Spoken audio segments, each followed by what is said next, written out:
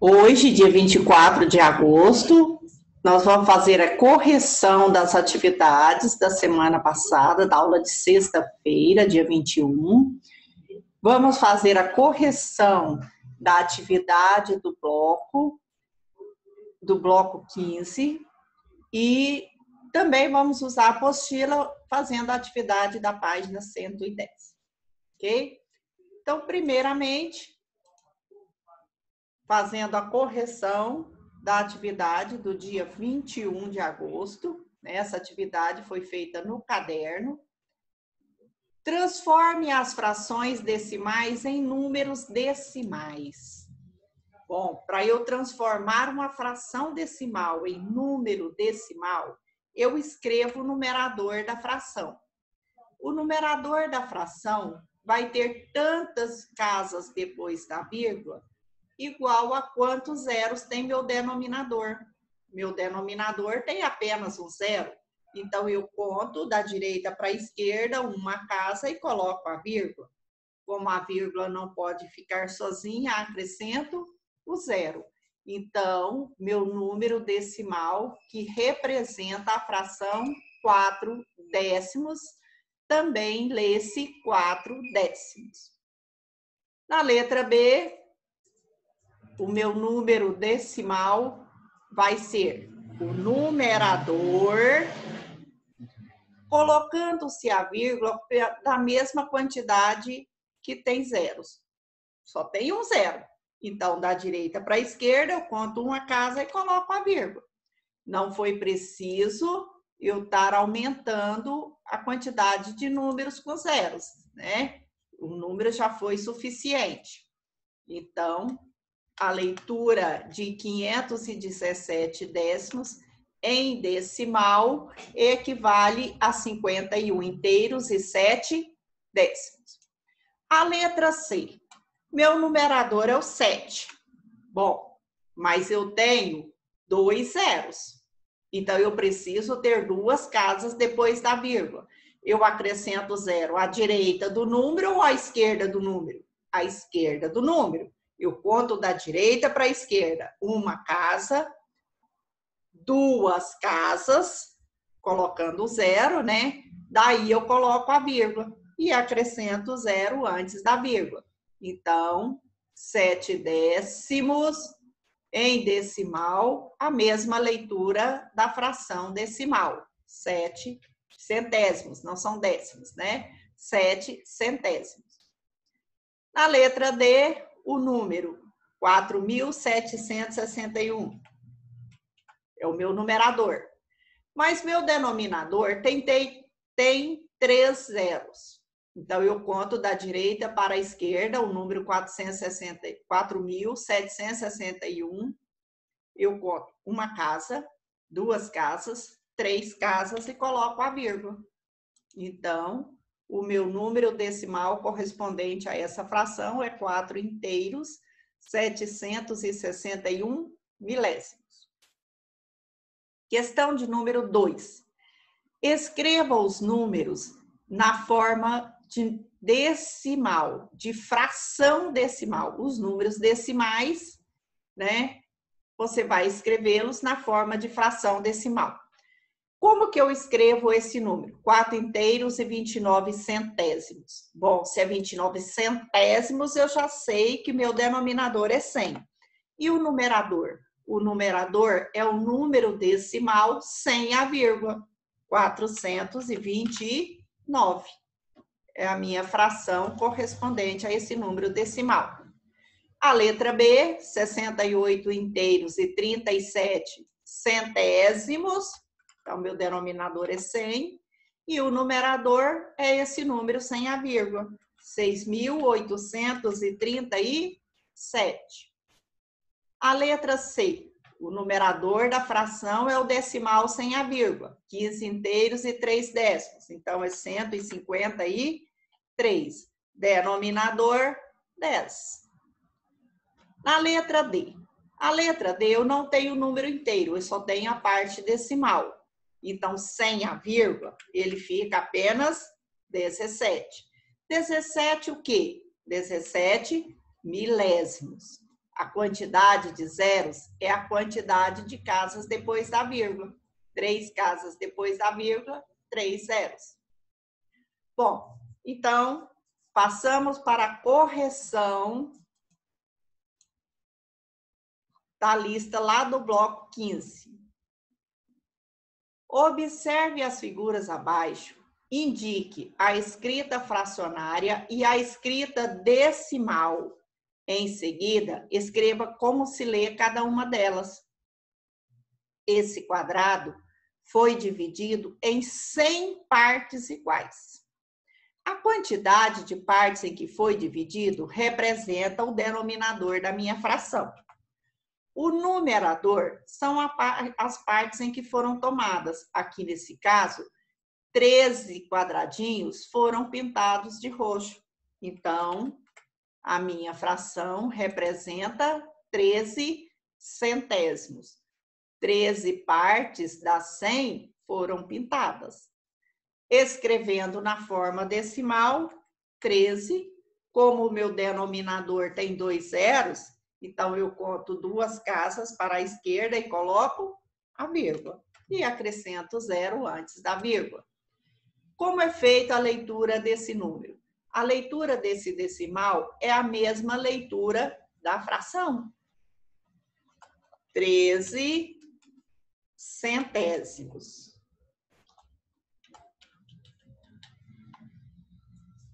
Não falei inteiros, porque inteiros aqui é somente o zero, e não se fala zero inteiro, tá? A gente, quando tem o zero na parte inteira, a gente só lê a parte decimal. A questão 2. Em quantas partes iguais o retângulo foi dividido? 1, 2, 3, 4, 5, 6, 7, 8, 9, 10. Foi dividido em 10 partes iguais. O numerador são as partes pintadas, 3, 3 décimos. 3 décimos em decimal, coloca-se o 3, conta uma casa e coloca a vírgula. E acrescenta o zero, então, depois, antes da vírgula. Não é isso? Como é feita a leitura? 3 décimos.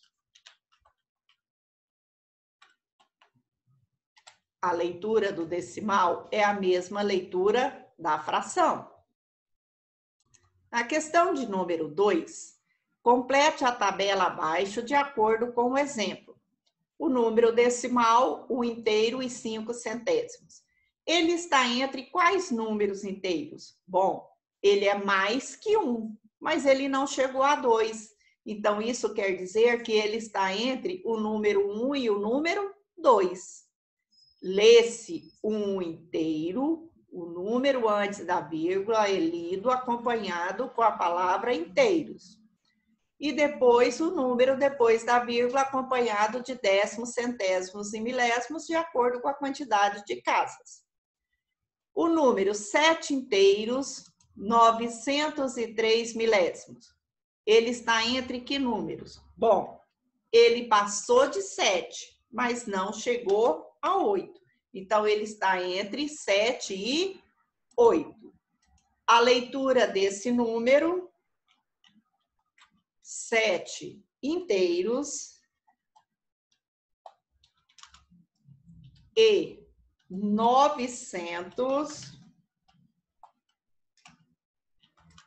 e 3 milésimos.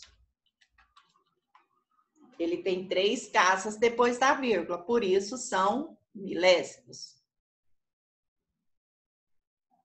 O número 111,9 está entre quais números? Bom, ele passou de 111, então ele está entre 111 e 112. Como lê-se esse número? Cento e 11 inteiros. É a parte antes da vírgula. E 9 décimos.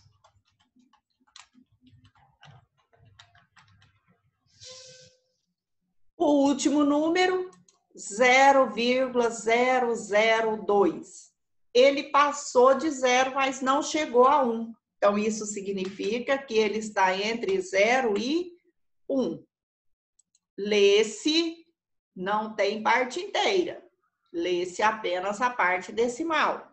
Então, eu tenho apenas 2 milésimos. Na questão de número 3, em um curso de informática, foram matriculados 100 alunos, dos quais 35 são homens. Que fração do total de alunos os homens representam? Bom, o total de alunos, que é 100, representa o denominador da fração. O numerador é a quantidade de homens. Então, foram matriculados 35, que são homens, dos 100 alunos. Aqui na letra B, escreva essa fração na forma decimal. Bom, na forma decimal, 35 é o numerador. Como eu tenho dois zeros, então eu conto da direita para a esquerda, duas casas e coloco a vírgula e acrescento zero antes da vírgula. Então, 0,35 ou 35 centésimos. Quantos alunos desse curso são mulheres? A quantidade de alunos é 100. Tirando a quantidade de homens, que é 35, o restante são mulheres. Então, o número de mulheres é equivale a 65. Nesse curso, matricularam 65 mulheres. Que fração do total de alunos as mulheres representam? As mulheres são 65 dos 100 alunos. Então, 65 centésimos. Escreva essa fração na forma decimal. Então, 65, né? Numerador da fração. Como eu tenho dois zeros, então eu vou ter também duas casas depois da vírgula o número que representa, o número decimal é 0,65, que equivale a 65 centésimos. Bom, agora nós vamos pegar a apostila do módulo 3, página 110. Vocês vão fazer essa página e em seguida eu vou estar corrigindo. Veja como foi medido em centímetros o comprimento de uma borracha usando a régua. Para eu medir alguma coisa usando a régua, a fita métrica ou a trena, eu tenho que posicionar o zero no início da figura ou do objeto. Né? Aqui na borracha, a parte branca, olha o início dela, foi posicionado zero. Mediu-se até ao final. Mas você viu que não chegou no 5, mas passou de 4? Isso significa que 4 são inteiros, é o número que vai estar antes da vírgula. Os pontinhos que passaram de 4 são os números depois da vírgula, ok? Então, usando uma régua, determine o comprimento em centímetro das figuras a seguir. Você vai medir o clipe a chave, o apontador e o botão. Observe que você vai posicionar o zero aqui nesse ponto e vai medir até esse ponto aqui. Então, qual é a medida desse clipe? Bom, inteiros foi até o 3. Mas eu contei alguns pontinhos depois do 3. Quantos pontinhos eu contei? Dois. Então, isso significa que ele mede 3,2 centímetros. A letra B. A letra B, que é a chave, você vai medir com a chave, colocando zero nesse ponto e medindo até esse ponto. Quantas partes inteiras foi? Até o 4. Não chegou no 5. Então, 4, Quantos pontinhos depois do 4? 8. Então, 4,8 centímetro é a medida da chave. O apontador, posicionando zero neste ponto e medindo até esse ponto, eu tive uma medida de 2 centímetros inteiros. Mas ainda eu contei oito pontinhos depois do 2. Significa 2,8 centímetros. A letra D. A letra D, que é o botão, posicionando zero nesse ponto e medindo até esse ponto, eu encontrei um centímetro mais quatro pontinhos depois do 1. Então, 1,4 centímetros. Na questão de número 9, observe as informações abaixo. O quilômetro é uma unidade de medida de comprimento que corresponde a mil metros. Um quilômetro equivale a mil metros, ou seja, um metro corresponde a um milésimo do quilômetro. Então, olha só, um milésimo do quilômetro é igual a um metro. Outro exemplo parecido é o do quilograma, que é uma unidade de massa. Massa, unidade de massa é uma é algo que foi pesado, é o peso de algum objeto. Então, o que um quilograma é igual a mil gramas. Então, para medir um grama, ele corresponde a um milésimo do quilograma. Observe aqui, décimo, centésimo, milésimo. Um milésimo do quilograma equivale a um grama. Ah, mas se eu tivesse um centésimo do quilograma, um centésimo seria 10 gramas. E um décimo do quilograma? 100 gramas. A mesma coisa aqui no quilogramas. Um décimo de quilômetro é igual a 100 metros. Um centésimo de quilômetro é igual a 10 metros. Então, a partir dessas informações, calcule mentalmente e complete as igualdades com os números adequados. 4 quilômetros, desculpa, 4 centésimos de quilômetros é igual a quantos metros? 4 quilômetros, que é 4 centésimos de quilômetros, equivale a 40 metros. Se fosse 4 milésimos, seria 4 metros, mas é 4 centésimos, então é 40. E se fosse 4 décimos? 400 metros, ok?